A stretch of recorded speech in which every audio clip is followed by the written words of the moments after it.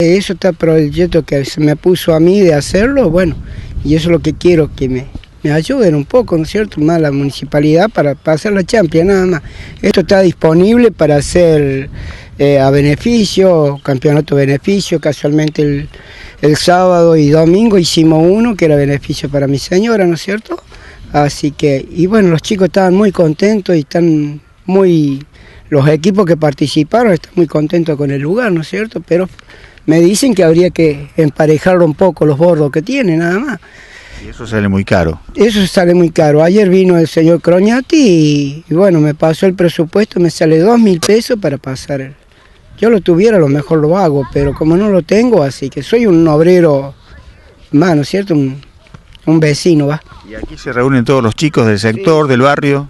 Sí, aquí se reúnen todos los chicos de acá del barrio, del- pueden venir de la costa, que siempre han hecho, porque antes tenía la canchita ahí en la esquina, entre Brasil y Europa.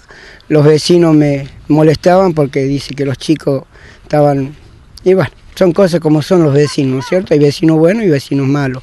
Así que eso es lo que digo. Y en cambio acá no molesto a nadie. Acá están los chicos divirtiéndose, vienen a jugar, después de que salen de la escuela, vienen los chicos a patear y todo. Ahí están los chicos acá que digan si yo alguna vez le dije no, no van a jugar al fútbol.